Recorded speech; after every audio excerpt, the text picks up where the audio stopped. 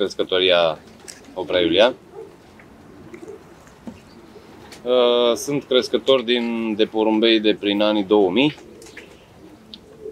Cu ceas, fără ceas. Așa e la început. Aveam aici un uh, vecin, Dumnezeu să-l ierte, domnul Stegaru. Băgam un ceas la el. Na, fugeam cu plomba, la la la.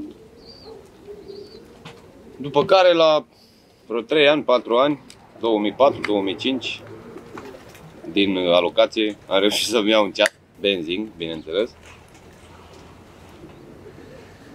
Profesionist, să zic așa, am început să joc de prin 2015, când uh, m-am mai liniștit și cu Gagi Căreala și cu ale mele, mă rog, ale pușteniei, ca să zic așa.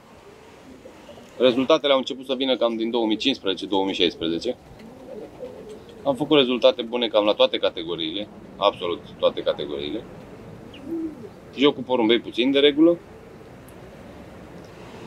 Ă, categoria preferată este viteza. Din totdeauna a fost viteza. Iar acum ă, îmi doresc să fac ceva și pe la maraton, ceva mai mult decât am făcut până acum. Doar astea două categorii îmi doresc să le joc uh, pe viitor și chiar le voi juca. Moștenesc uh, acest microb de la tatăl meu. El nu a fost un uh, zburător, dar a avut porumbei voiajori de la răposatul Crețulescu. Ce să zic, rezultate destul de bune la nivel de județ, la nivel de provincie, pe național de primii 10, în ultimii 3, 4, 5 ani. Viteză de mifond, as fond, fond, general și pe la maraton m-am mișcat, am fost prin primii 10 județeani pe aici. Acum rămâne de văzut, să vedem ce, ce va ieși. Anul ăsta a fost unul foarte bun pentru mine. Locul 1 viteză. Maturi. Locul 3 as viteză tineret. Am punctat și pe la maraton, deși am avut puțin porumbei. Numai 7 porumbei. Uh, am avut un tânăr cu locul 7 județean maraton tineret. Și doi maturi, singurii care i-am avut de fapt, la 2 ani. Locul 20 și locul 30, palmares 2 ani maraton. Activez la clubul Copăceni din uh, anul 2014, din anul înființării acestui club, atunci s-a înființat. Uh, jucăm cu Bucureștiul. Suntem o ramură uh, în Ilfov, cum ar veni, dar jucăm cu Bucureștiul din totdeauna, am jucat cu Bucureștiul. Ca și metodă de zbor prefer văduvia, este mult mai ușoară decât naturalul, datorită faptului că nu prea am timp pentru porumbei. Îmi este mult mai ușor să joc văduvie. Ca și hrană folosesc în mod deosebi hrana de la feștilă. Sunt foarte mulțumit de ea. Produse de condiționare destul de puține, în mare parte de la Bayers.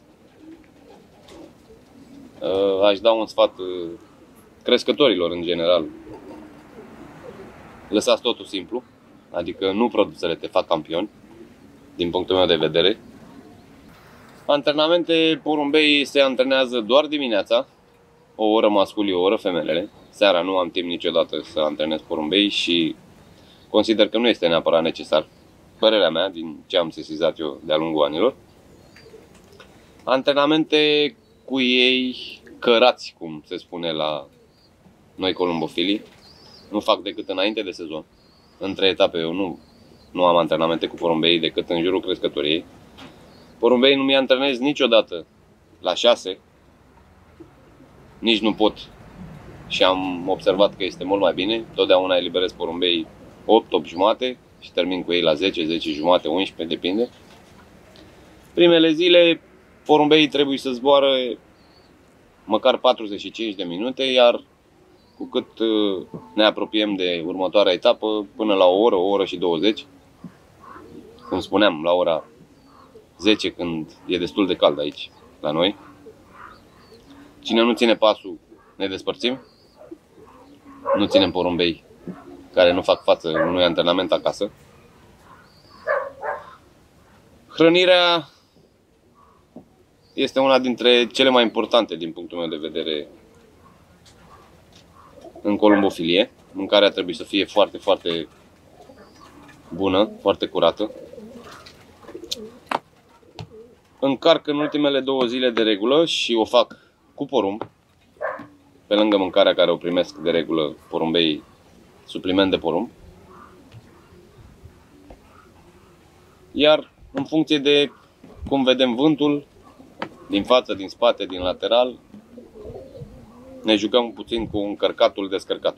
Majoritatea porumbeilor mei câștigători, ca să spun așa, sau campioni, de regulă sunt porumbei medii, că așa microiesc eu. Așa îmi fac perechile la matcă, ca să zic. Dintotdeauna am iubit uh, chestia asta. Un porumbel mediu poate să facă ce nu face unul mic și ce nu face unul mare. Adică mă refer strict la viteză de mifon și nu doar, și la maraton. Un porumbel mic are handicap, un porumbel mare are handicap. Din punctul meu de vedere, tot un, un mediu ar trebui chiar și la categoria maraton. Toți porumbeii mei care au avut rezultate au fost porumbei impecabili la mână din toate punctele de vedere, detalie medie, cu o musculatură foarte, foarte, foarte bună. Și ce am sesizat cel mai mult la porumbeii mei de vârf, din totdeauna, sunt porumbei care sunt foarte calmi și liniștiți. Niciodată nu trebuie să-l alergi, niciodată nu sare de la boxă, niciodată femeia rămâne totdeauna pe odihnitorul ei, nu-și mută odihnitorul. Mă refer doar la porumbei de top. Iar ăsta pentru mine în timp a fost un criteriu de am, unul dintre criteriile care m-a ajutat să selectez niște porumbei. Cine vrea să țină cont, ține cont, cine nu vrea să țină cont, să nu țină cont. Eu vă spun ce am sesizat eu în ultimii 5-6 ani și am tot pus la probă, am lăsat anual un porumbel rău în crescătorie, deși era dintr-o familie bună, avea niște probleme. Ori era rău, ori tot timpul se bătea cu alt porumbel, etc., etc. Iar încă o chestie care am sesizat-o și nu toată lumea o spune, prefer să o spun, nu e niciun secret, toți porumbeii de elită întotdeauna își iau boxă sus sau odihnitor sus. Niciodată nu o să vezi un porumbel de elită că o să stea jos. Sau sub jumătatea raftului, ca să zic așa, cu boxe sau cu odihnitori. Ăștia sunt pentru mine porumbei cu o inteligență deosebită. Și de fiecare dată când uh, am uh, observat unul din acești porumbei, mi-am dat seama că el urmează să fie un porumbel, un porumbel de top, un porumbel bun. Anual scot cam 3 serii de pui, undeva la 100, cu ce mai bag la Columbodrom, cu ce aia, cam în jur de 100 de pui. Țin și din zburători, nu doar odată am avut surprize. Unii dintre cei mai tari porumbei din viața mea au fost scoți atât din matcă cât și din zburători. Pui joacă tot ce este în plan, tot planul de zbor la pui. Îi țin de regulă de izbeliște, ca să zic pe românește, liberi, nu mă interesează să bat pe nimeni la pui, nu mă interesează să câștig ceva. Deși am mai câștigat. Am avut și pui cu rezultate. De regulă nu folosesc absolut niciun tratament la pui. Îmi place selecția naturală. Porumbei coboară în curte, își ia de pe aici o iarbă, un pământ, un nisip, ce are el nevoie. Sunt liberi, antrenamente nu fac absolut niciunul, nu trebuie și să zic, din 80 cât scot eu 100, mă rog, de cele mai multe ori nu opresc mai mult de 20. Anual cam 20 de pui care sunt selectați depinde de categorie, cum a fost maratonul, mai selectez la mână, dar și cum au sclipit așa ca și porumbel. Dar pentru viteză de mifon, viteză în cazul ăsta că nu mai joc de mifon, doar vârfurile, adică porumbel constant pe toate etapele care le-a jucat. Dacă au jucat toate 8, constanța pentru mine înseamnă foarte mult. Să vină mereu acolo la locul lui, cu mici uh, marge, o mică marge de eroare. Când a venit prima, a venit al treilea, al cincilea, al șaptelea, tot în față este pentru mine. Nu mă interesează cum vine pe lansare. Eu joc doar eu cu mine la pui. Asta având în vedere că nu, nu fac văduvie sau metode cum joacă băieții pui, nu mă interesează nimic la pui, sunt, mă bate toată lumea. Bine, am și, am și etape în care sunt destul de sus în clasament. Asta doar că ei sunt uh, ce trebuie, ca să zic așa. Dar în rest, trec foarte puțini în compartimentul de zbor. Restul, eliminați și mai dau câte un cadou la vreun prieten. Mai sunt începători, le mai dau. Au, au fost destui, destui crescători care au făcut rezultate din pui care n-am vrut să-l țin, i-a luat. Nu am răbdare, adică nu mai am, nu mai am timp să stau după el. Și nu-mi place să joc cu porumbei mulți. Îmi place să joc cu porumbei puțin, pentru că nu am timp și dacă nu ai timp și ai numărul mare, te îngropi singur. La matcă am avut și 40 și 50 de perechi, ca să zic așa. Îmi place să consanguinizez foarte tare familiile care au dat roade, să zic așa. Marea majoritate a porumbeilor mei, 90% dintre ei se trag de la Demis Păduraru. Îi mulțumesc pe această cale. Niște porumbei de Vandic și Vandic Limburg și, bineînțeles, cealaltă familie de Cobman, care tot de la el o dețin. Femela mea, Regina, care pentru mine a fost un porumbel de mare valoare, poate în top 5 reproducători în România. Era o femelă adusă de la domnul Iuga Dorin. Domnul Iuga Dorin, la rândul dânsului, cumpărase părinții ei prin uh, bunul meu prieten Dinu Mihai de pe Pipa. Și în momentul în care am pus uh, porumbei de Vandic de la Demis cu femela de Covman, atunci s-a întâmplat explozia, ca să zic așa, și au venit rezultatele adevărate. Pe lângă aceștia mai am niște porumbei de Charlechens, care sunt uh, de la bunul meu prieten Bogdan. Îi mulțumesc pe această cale. Mai este celebrul meu Genrixul, un porumbel deosebit, un porumbel din toate punctele de vedere deosebit, un porumbel foarte bun reproducător. Uh, este un porumbel de la familia Pudic din Croația, reprodus dintr-un uh, fiu de gladiator și o femelă de vandic. Tot de la Demis Păduraru îl am și pe el, cumpărat de el de pe o licitație un porumbel care a dat super porumbei, cu orice, cu orice familie a fost pus în pereche. Cam ăștia sunt în mare parte porumbei, trei familii marșilate, patru de fapt. Mai aduc, mai fac câte o infuzie, am mai adus câte un porumbel, doi, dar a fost foarte greu să-i bată pe acești porumbei mei. Am, de exemplu, un porumbel foarte bun de Charlechens de la prietenul meu Cosmin, tandemul Stănescu și Dobre, care, într-adevăr, de când l-am adus în crescătorie, am avut un plus, să zic așa.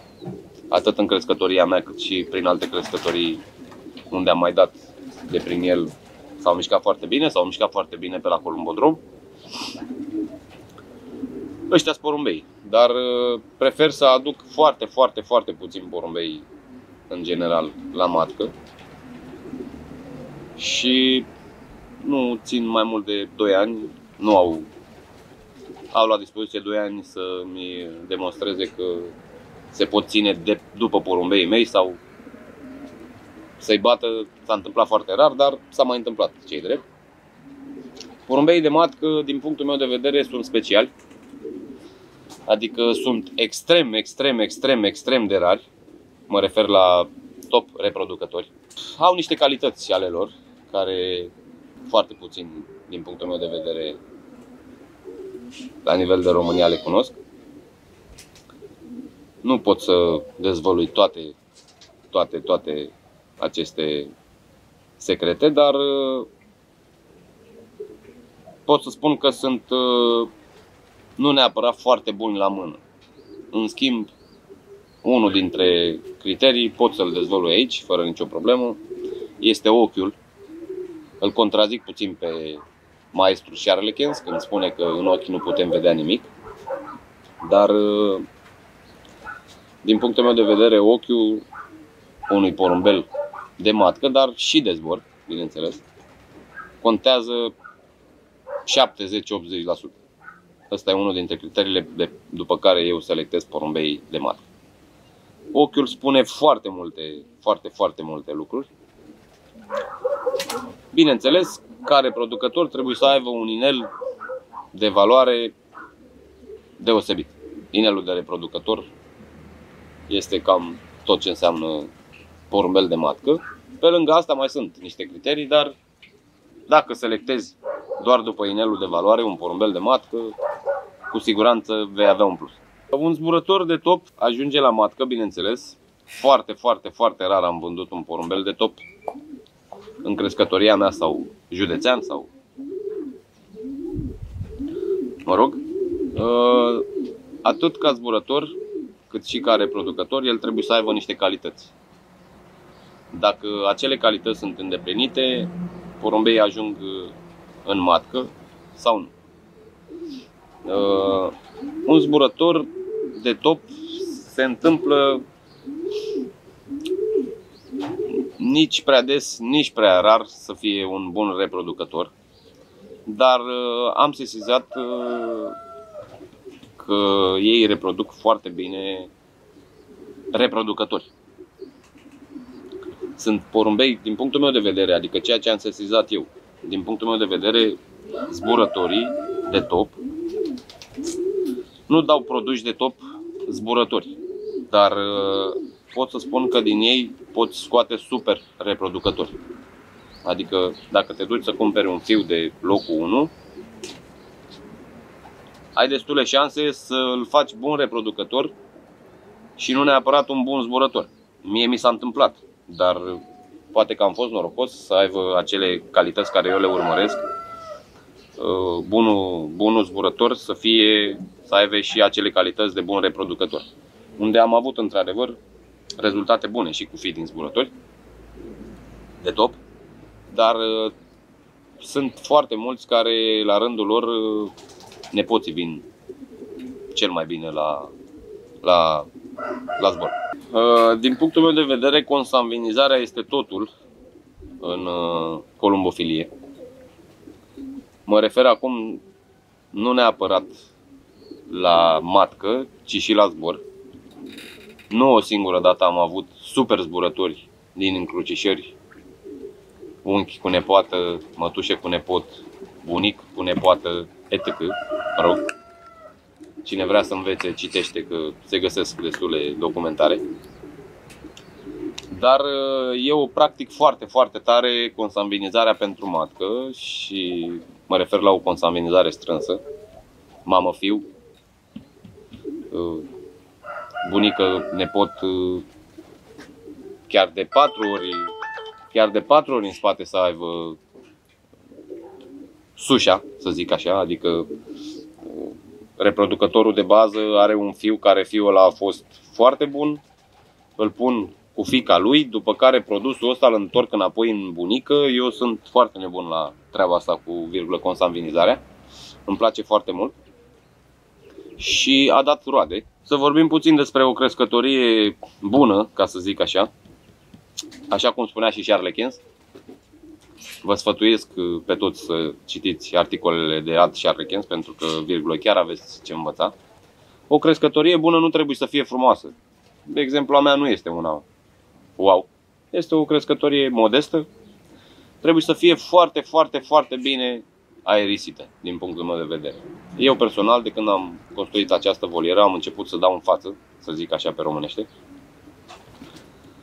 Este o volieră foarte, foarte aerisită unde nu am probleme cu porumbei. Pot să spun că am ajuns la, la un stadiu în care să nu tratez porumbei pentru că nu au nevoie. Nu, pur și simplu nu se îmbolnăvesc porumbei în ea. Și asta datorită faptului că este o volieră foarte, foarte aerisită. Uh, nu pun geamuri iarna, nu pun uh, termopane, nu. Totul se lasă simplu, așa cum spune Charles citesc din nou, lăsați totul simplu.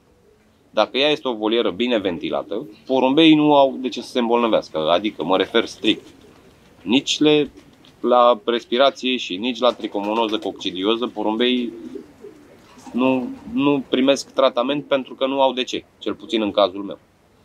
Văd, văd adesea oameni care și-au pus termopane, că stai că bate vântul, că stai că... Păi, hai să ne uităm puțin la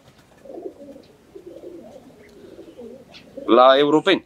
La, mă refer la zburătorii de top. Toată lumea își ține, inclusiv iarna, porumbei în voliere deschise. Oare acolo nu bate vântul? Nu plouă? Nu se întâmplă nimic? Atâta timp cât podeaua este de plasă sau mai știu și eu și porumbelul nu stă toată ziua găniat, să zic așa, și este doar plasă de jur împrejur, porumbelul nu are voie să se îmbolnăvească. Iar dacă el se îmbolnăvește în momentul în care îl plouă în voliera aia sau îl bate vântul, din punctul meu de vedere, consider că nu ai ce să faci cu el. Ei pur și simplu, iei capul și îți vezi de treaba ta. Asta înseamnă columbofilia adevărat. O crescătorie nu neapărat frumoasă, dar să fie foarte bine aerisită. Eu, unde am găsit astfel de crescătorii, am văzut ca porumbei să arate formidabil, inclusiv în crescătoria mea, porumbei arată formidabil din toate punctele de vedere, fără cine știe ce. Adică să le dai produse ca ei să aibă o astfel de formă. Și mă refer acum strict și în sezon și în extra sezon. Porumbei arată foarte bine. Iar eu știu și am văzut că asta vine fix din crescătorie. Dacă crescătoria nu este ventilată și nu este aerisită, vei avea de, de tras cu porumbei. Și rezultatele cu siguranță vor întârzia să apară, probleme la matcă, probleme peste tot, etc. Vreau să vă prezint feblețea mea și aurul crescătoriei, ca să zic așa. Campioana 99 este porumbelul, reprodusă din uh, regele și regina, regele fiind porumbelul de Vandic de la Demis Păduraru și regina femera de Copman. Este mama, bunica, străbunica și stră-străbunica a multor porumbei de top, atât în crescătoria mea cât și pe la alți prieteni. Columbodroame nu mai zic, foarte multe pe familia asta de top 10. O femelă formidabilă din toate punctele de vedere, detalie mediu-mic. O femelă care a zburat foarte, foarte bine. A fost de primii 10 pe județ la 4 categorii, dacă nu mă înșel, în același an. Uh, și a avut demifond, fond, as fond, 17 național as fond, dar femela a fost ceas elvețian, cum spun eu. Orice etapă a jucat 300, 400, 600, 700, femela a fost numai în față. Senzațională, ea este una dintre porumbei care a zburat foarte bine și a reprodus extrem de bine. Nu le țin minte uh, rezultatele fiilor neapărat sau a nepoților, dar uh, asta pentru că sunt prea mulți cu rezultate de excepție. O femelă cu o vitalitate de invidiat. Mătăsoasă. Un ochi formidabil.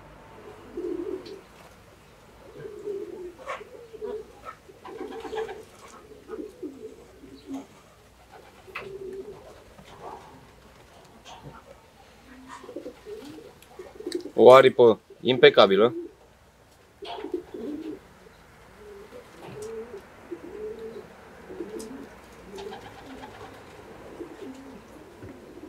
O altă femelă deosebită, o femelă impecabilă din toate punctele de vedere, originală de Miss Păduraru, fică din Olimpicul, mamă, bunică, străbunică și stră-străbunică a multor porumbei de top, viteză de mifond și general.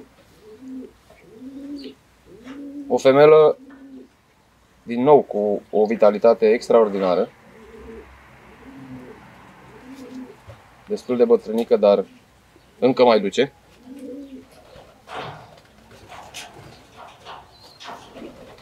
Femelă care este Vandic, fică din Olimpicul Demis Păduraru. O femelă care a dat în orice combinație posibilă și imposibilă a fost făcută. Porumbei de top. Acum vreau să vă prezint masculul de suflet, gladiator, așa este numit de mine. Un porumbel uh, deosebit din toate punctele de vedere. Un porumbel de talie mediu spre mare. Un porumbel care a jucat destul de bine fond și as fond la nivel de județ. Este în același timp frate bun cu locul 1 final uh, Columbodrom Orizont cu 5 minute avans. Este tată pentru doi super porumbei de-ai mei, unul la Asfond, tineret, și unul la viteză, maturi. Uh, un porumbel impecabil în toate punctele de vedere, un porumbel deosebit de cuvinte, care tot timpul te urmărește un porumbel, cum spun eu, care nu simți că îl ai în crescătorie. Acesta este un porumbel fiu din regele, care după moartea lui se pare că a preluat ștafeta, un super reproducător, Vandic cu foarte puțin Limburg, tot o combinație de mispoduraru. Este un produs făcut de mine într-o consanvinizare, așa cum spuneam și mai devreme. Un porumbel extraordinar la mână din toate punctele de vedere, extraordinar. Este unul din preferații mei și am simțit asta de pui de când l-am reprodus. un porumbel de talie medie care a reprodus destul de mulți porumbei, atât în crescătoria mea cât și în alte crescătorii. Viteză de mifon general. El este Carl, numele lui este Carl. Acum țin în mână etalonul crescătoria Oprea. Oprea Iulian, un porumbel care se zbărlește pielea pe mine doar când îl țin în mână. El este sticăritul 29, un zburător de mare excepție, ceas elvețian, cum le zic eu, un porumbel care a fost locul 1 județean Aspid și 10 național. În următorul an este locul 1, din nou, palmares 2 ani viteză. Un porumbel care se pare că va fi și un bun reproducător după produsii de anul ăsta la cum i-am simțit. Uh, talie medie, bombiță cum le spun eu, care este o combinație între Van Dyck Sherleckens și Heremans.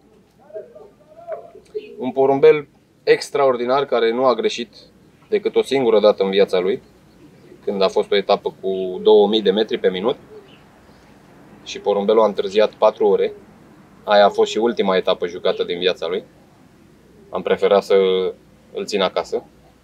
Cu toate astea a ieșit tot locul 1. Extraordinar din toate punctele de vedere.